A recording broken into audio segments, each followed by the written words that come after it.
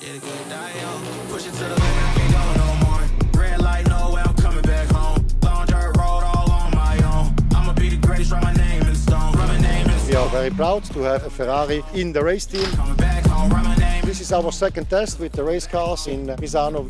Back home. Right now we have good running times. We don't suffer issues during the day. So right now it's just to get a, a lot of mileage, a lot of data to just understand the car, these basic things to just prepare for a race or also qualifying. car has a different characteristic than the Lamborghinis, but uh, I mean what we saw so far is very encouraging. Stay ready, we are pushing the car out now. So a new chapter for the team. For us, first race we want to be competitive, so we are waiting a lot. Push it to the limit, can't go no more. Red light, no way, I'm coming back home. Long dirt road, all on my own. I'ma be the greatest, write my name in stone. My name in stone. Yeah, I'm coming back home.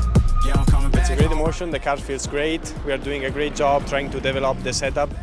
Up to now, I'm really happy.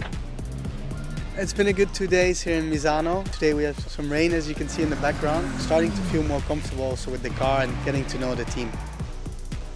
Closer and closer to the first race and you get very excited. Definitely looking forward to it. To have two blue Ferraris on the podium is the best which could happen. Also to win a championship would be great. Yeah, I think it will be quite interesting.